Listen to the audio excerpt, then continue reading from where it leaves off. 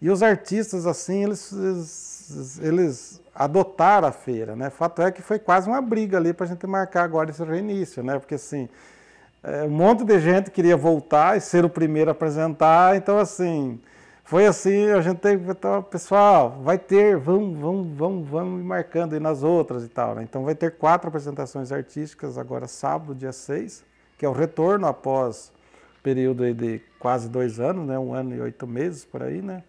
Que a feira ficou parada devido à pandemia. E agora vai ser a edição 231 da Faísca. São, teve 230 edições da Faísca, então ela acontece todos os sábados, das, das 4 da tarde às 8 da noite, mais ou menos ali.